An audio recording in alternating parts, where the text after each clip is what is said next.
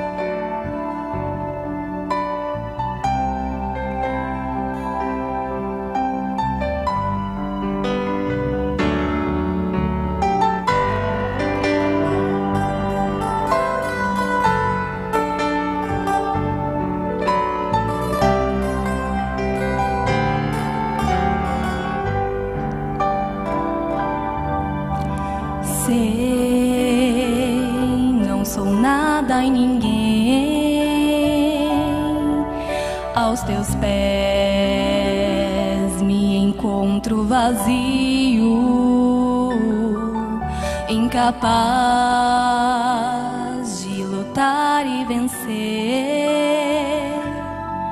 Me entrego ao teu grande poder. É tão difícil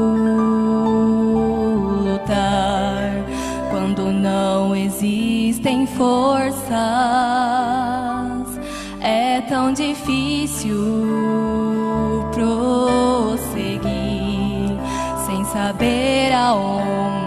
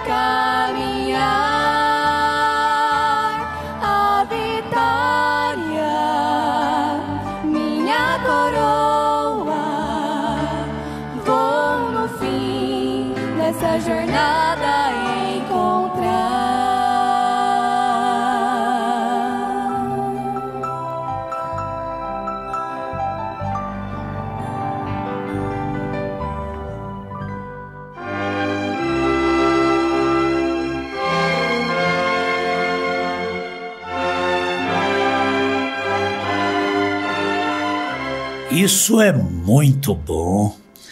A gente passa o dia todo lembrando do hino que ouviu no culto doméstico. Eu, culto doméstico para mim é às 5 horas da manhã, né? E para muitos que podem. É um privilégio muito grande. Apocalipse capítulo 3, versos 1 e 2. E ao anjo da igreja que está em Sardes escreve, melhor dizendo, é, capítulo 3, verso 14. 14 e 15. E ao anjo da igreja que está em Laodiceia escreve: Isto diz o Amém. A testemunha fiel e verdadeira, o princípio da criação de Deus. Somente o verso primeiro para a nossa meditação. E ao anjo da igreja que está em Laodiceia, que é a sétima era, que é a última era, e essa última era vai terminar com o arrebatamento. A era de Laodiceia termina com o arrebatamento. Isso diz o Amém, tá vendo? O Amém é o fim. É a última era, é a última carta, é a última dispensação. Então isso diz o Amém. Testemunha fiel e verdadeiro, o princípio e o fim da criação de Deus. Muitos mistérios, as coisas reveladas são para nós e para os nossos filhos, as coisas ocultas são para Deus. Mas nós temos a revelação de tudo que nós precisamos saber para alcançarmos a fé de arrebatamento, nós temos na revelação de Jesus Cristo através do sétimo anjo. A abertura dos selos. E como disse no início, não preocupe em entender a vida. Viver ultrapassa qualquer entendimento. Se a gente ficar tentando entender a vida, a gente acaba se embaraçando. Porque a vida é o mistério. A nossa vida é o mistério. Eu estar aqui hoje, sentado aqui, pela fé, sentado com muitas famílias, é um mistério que não tem explicação. É, a única coisa que a gente sabe é que Deus não terminou com a gente ainda. Porque o dia que Ele terminar comigo, Ele me levará em paz para o lar. Assim diz o nosso profeta. Agora, lembre-se, isso vem no final da sétima era da igreja. O cordeiro sairá de cena, cordeiro sangrento que João viu, e o leão entra em cena. O ancião anunciou o leão, quando João olhou, viu o cordeiro, porque ainda era hora do cordeiro, fazendo o trabalho da intercessão, da mediação, e isso vai até a entrada do último eleito. Agora, isto vem na sétima era da igreja. O cordeiro sai de cena, o sangue sai do propiciatório, sai do santuário e aí entra o leão. Isso acontece no final, quando os mistérios de Deus serão abertos. Agora observe com bastante atenção. Isto é algo que precisa, que você precisa entender. A noiva precisa entender isto. E para que possa entender, tem que haver um interesse por isso. As irmãs, os irmãos, até mesmo as crianças. Viu, irmão Jorge? Só entrevistar as crianças para você ver se elas não estão entendendo. Estão sim. E nós, pastores, temos a comissão de Deus para passar isso para a igreja. Eu não posso falar assim, ó, não. O meu ministério é arroz com feijão mesmo, é pegar o dízimo do povo e pregar aí os rudimentos, o batismo e tá bom demais. Isso é enganar o povo. Nós, pastores, temos a comissão de mostrar isso para a igreja, porque senão ela nunca vai alcançar a fé de arrebatamento. Ela vai alcançar a fé só de ser dizimista e receber cura divina. A mensagem não é arrozinho com feijão, não. A mensagem é profundeza. Nós temos que deixar os rudimentos e aprofundar, aprofundar nisso aqui, ó. E as irmãs, os irmãos não podem tratar isso com desprezo. Falar, ah, eu não entendo isso, eu não entendo selo, se for para mim na igreja para escutar selo eu não vou, porque eu não entendo isso. Isso é desprezar. Desprezar a revelação. Precisa haver interesse. E eu sei que há interesse. Estou falando com uma igreja que tem interesse, tem prazer de ouvir isto. Agora, ele está fazendo sua obra mediadora, fazendo intercessões pelo crente. Ah, irmãos, só isso aqui dá, dá vontade da gente, como diz o profeta, esconder num canto ali e chorar, não é? Agora ele está fazendo, agora ele está balindo, agora ele está sangrando. Esse cordeiro está sangrando ainda. Não parou, não. João viu isso lá na ilha de Patmos. O cordeiro ainda está sangrando. Ele está fazendo sua obra mediadora, fazendo intercessão por mim, pelo irmão, pela irmã, pelo crente.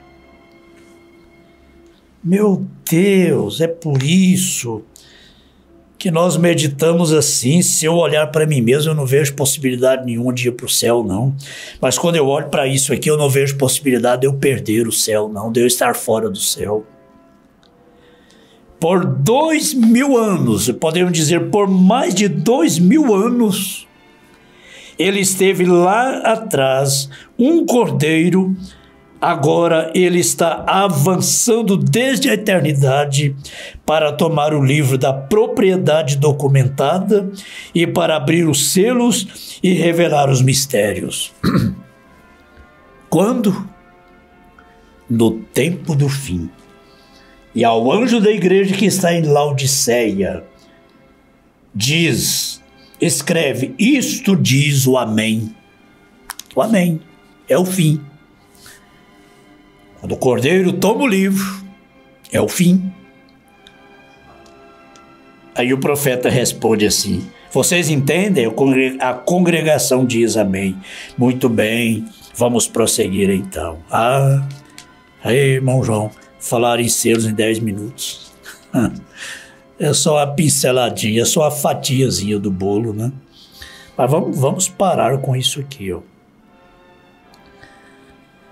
Por dois mil anos, mais de dois mil anos, ele esteve lá, um cordeiro. Logo, logo, o leão vai rugir. Porque o ancião estava certo, o ancião diz: o leão. Mas até agora o leão não entrou em cena ainda, é o cordeiro sangrando. O cordeiro é Jesus, o leão é Jesus.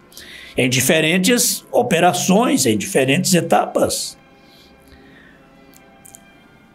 O ancião estava certo, João estava certo, o cordeiro estava certo. Mas ao final desta sétima era, isto diz o Amém. O cordeiro sai, o leão entra. Juízo, juízo, grande tribulação. Às vezes eu falo assim, você pode ignorar o arrebatamento, viu? Adolescentes, jovens, os jovens são mais tendenciosos a isso. Ah, eu não quero saber de arrebatamento, não. Tá, pode ignorar. Ignora o arrebatamento. Eu quero ver você ignorar a tribulação depois que o arrebatamento acontecer. Aí que é, né? Não falo comigo em arrebatamento, não quero saber de arrebatamento, não falo comigo nisso. Tá? Pode ignorar. E a hora que o arrebatamento acontecer, você pensar assim: agora eu estou dentro da grande tribulação. Agora eu não tenho mais oportunidade. Vai ignorar a grande tribulação? Você vai poder falar: não, não fala comigo, grande tribulação, não. Mas você vai estar dentro dela. Aí você vai ver o sexto selo explodir, se cumprir. É só ler Apocalipse 6, a abertura do sexto selo, juízo, grande tribulação. Até aí a gente vai, né? Em poucos minutos a gente pode ir até aí. Meu Deus, que ninguém espere até ser muito tarde. Jovens, adolescentes, crianças, adultos, famílias. Vamos dar valor a isto. O cordeiro já está saindo. O cordeiro já está levantando do trono da misericórdia. E depois vai sentar-se como leão, como juiz. Hoje ele ainda diz: Vinde a mim, todos vós que estáis cansados e oprimidos, eu vos aliviarei. Suas mãos estão estendidas, mas muito em breve seus olhos serão como chamas de fogo seus pés como latão reluzente. Será juiz. Ai, ai do mundo. Ai do mundo. Ai do mundo e suas concupiscências. Ai daqueles que ficarem aqui quando o sexto selo estiver se desenrolando. Quando o juiz estiver varrendo a terra, toda a terra estará sendo banhada pelo terceiro batismo Oh meu Deus, graças a Deus que antes disto haverá um arrebatamento. Ao fim da era, a noiva de Jesus Cristo será arrebatada. Depois explode o sexto selo, a grande tribulação aqui na terra. Durante aquele período de três anos e meio, a noiva de Jesus Cristo estará na glória, nas bodas do Cordeiro. Graças a Deus que nós estamos dentro disto. Eu faço parte disto. No nome de Jesus Cristo. Diante desta grande verdade, dessa grande revelação, o câncer se torna pequeno. A cura se torna tão fácil. Para aqueles que estão doentes, pode falar agora com fé, pelo poder desta revelação: eu já estou curado, eu já estou curada. Abençoa todo o teu povo, Pai, com a bênção da tua palavra. No nome de Jesus Cristo nós oramos. Amém. Amém, queridos irmãos. Não dá mais, né? É somente isto. Fique com Deus. Até amanhã. Fiquem com Deus. Um grande abraço a todos. Sei, não sou nada e ninguém aos teus pés vazio, incapaz de lutar e vencer. Me entrego ao teu grande poder. É tão difícil lutar quando não existem forças tão difícil prosseguir sem saber aonde ir. O meu coração anela mais uma